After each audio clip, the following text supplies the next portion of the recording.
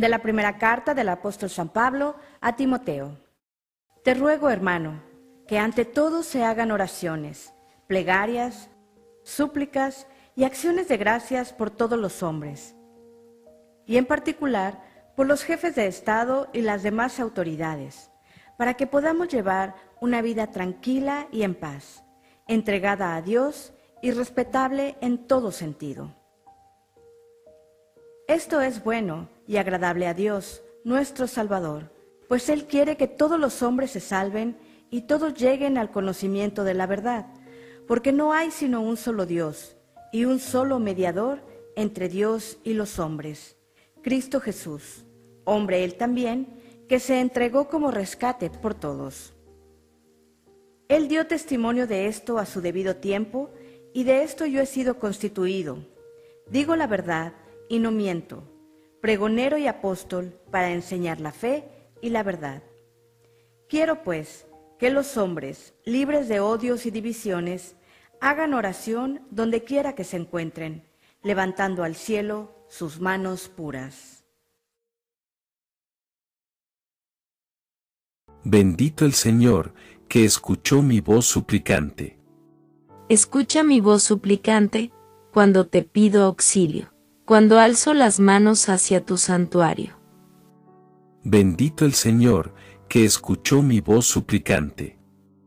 El Señor es mi fuerza y mi escudo, en él confía mi corazón. Me socorrió, y mi corazón se alegra, y le canta agradecido. Bendito el Señor, que escuchó mi voz suplicante.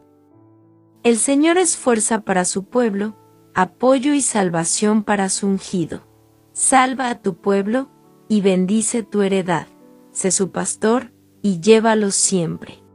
Bendito el Señor, que escuchó mi voz suplicante. Evangelio según San Lucas.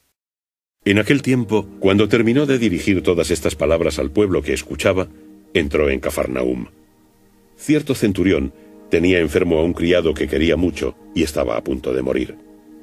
Como hubiese oído hablar de Jesús, le envió unos ancianos de los judíos para suplicarle que viniera a curar a su criado.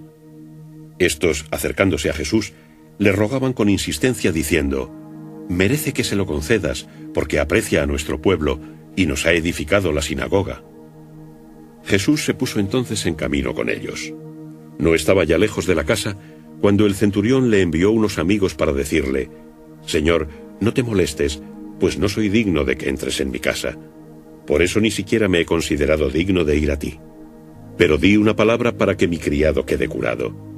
Porque también yo, que soy hombre sujeto a disciplina, tengo soldados a mis órdenes, y digo a este, ve y va, y a otro, ven y viene, y a mi criado, haz esto, y lo hace.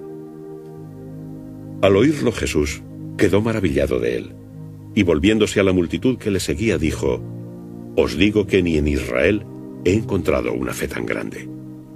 Cuando los enviados regresaron a casa, encontraron al criado curado.